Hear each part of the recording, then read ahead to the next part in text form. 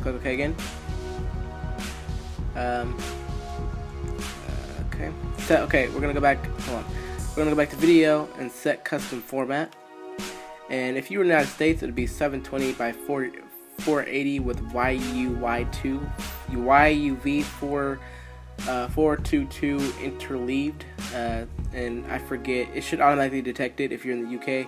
And yeah, so click OK on that. And on audio, we're gonna go.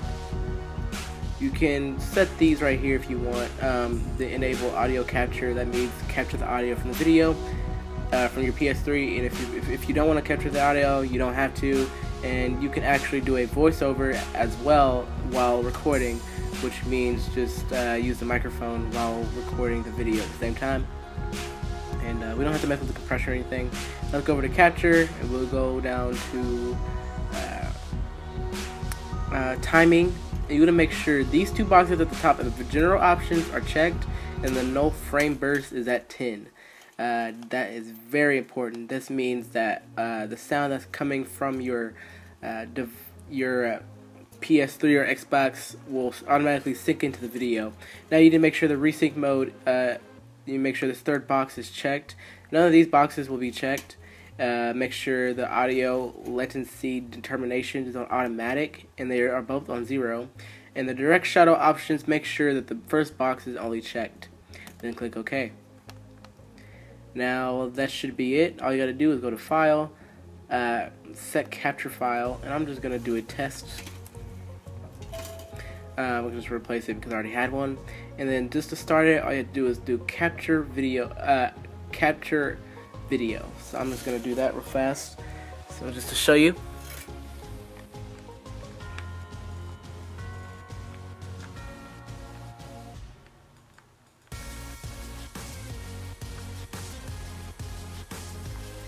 Alright, I'm to stop recording now. Stop capture. And then uh, I'm going to go to File, and I'm to go to Exit Capture Mode. Now, when I exit, when I exit Capture Mode, um, it'll bring me up to this white screen right here. Uh, you want to click on File, and then you want to click on Open Video File. Click on, find the, uh, the video that you recorded just a second ago, um, wherever you saved it at. Mine is test, and I uh, have mine in the videos. I'm to click Open and then you see it's kind of wide. So this is the before and here is the after. So I'm just going to right click and then I'm to just shrunk these down to 50 by 50. Or I'm to make it 66 by 66 percent. Okay, just so I can see.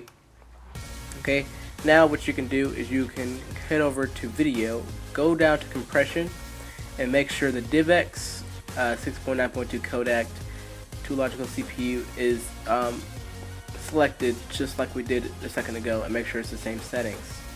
So just like I'm doing right now, make sure it's selected.